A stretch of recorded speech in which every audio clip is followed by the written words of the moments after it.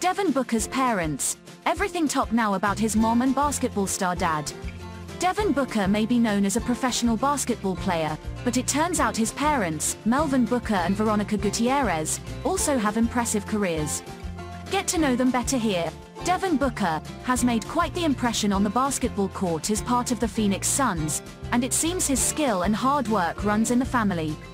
The athlete's parents, Melvin Booker and Veronica Gutierrez, led successful careers of their own as they raised him, and have been a huge part of his life. From influencing his love of basketball, to showing him how to build a strong relationship, his folks are definitely a part of his success story.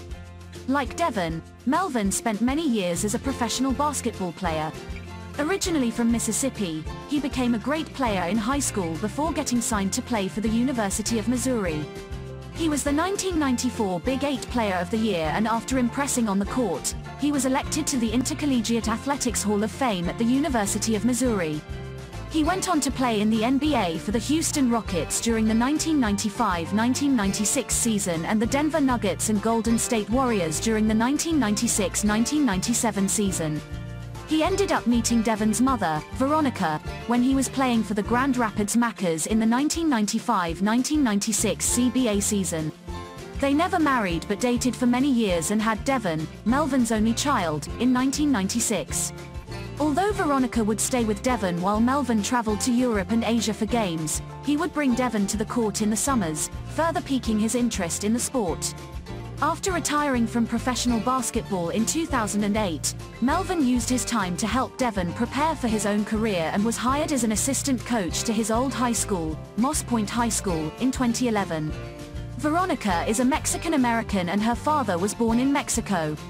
She reportedly worked as a cosmetologist and already had a son named Davon Wade when she met Devin's father in her hometown of Grand Rapids. After having Devin in 1996, she was often the one to spend time with him when Melvin traveled in different countries for his professional basketball career. In an interview with Undefeated, Melvin credited her for helping him continue his sport. She made it happen. I owe her all the credit for allowing that to happen. Ever since, Devin was eight months old, he was coming with me in the summertime. It was special, I was trying to make up for the times I missed when I was gone, he told the outlet in 2016. After splitting from Melvin, Veronica went on to have her third child, daughter Maya Powell, who reportedly has chromosome 22 deletion syndrome. Devin and Maya have become very close over the years and he's often seen sharing sweet moments with her,